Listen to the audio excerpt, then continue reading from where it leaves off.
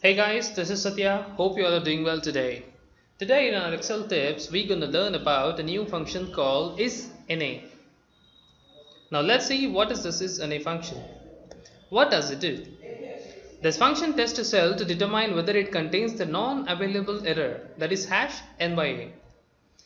The hash NA is generated when a function cannot work properly because of the missing data the hash NA can also be typed into a cell by the user to indicate the cell is currently empty, but it will, used, it will be used for data entry in the future.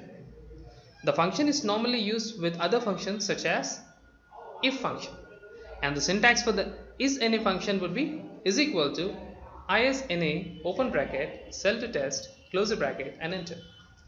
Now let's see how this particular function going to use. Now we have a sample data wherein I have the data mentioned in one column and the test to be done in the other column.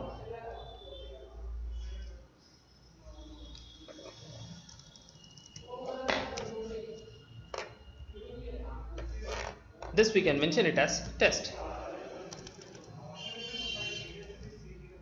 Now let's see how this particular function works. Now if I want to go ahead and identify how many are the hash NA errors in this particular data, if I want to go ahead and select each and every data and count each and every data. It is a huge task. If it is a small data that can be easily worked upon. But if it's a huge data and if you want to go ahead and count the hash NA and identify the hash NA it is a very difficult task. So in order to reduce the work what we can simply do is you can simply type it as is equal to is NA open bracket select the data close the bracket and enter.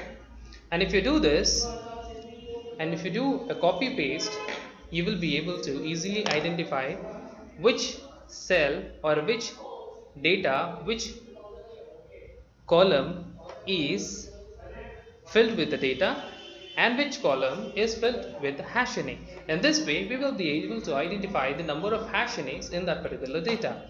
So if you see here, the first row it is mentioned as 5 which is false, then it is high which is an alphabet which is false then a date then a blank. Everything is coming as false over here. And for hash NA it is coming as true. So in this way you will be able to identify the number of hash NAs in a specific data if it is a huge data. I hope you have loved this particular video and watched this particular video and learned something about this particular function called isNA. Thanks for watching this video. Please don't forget to subscribe our channel and please like our channel as well. Post your valuable comments as well. Thank you.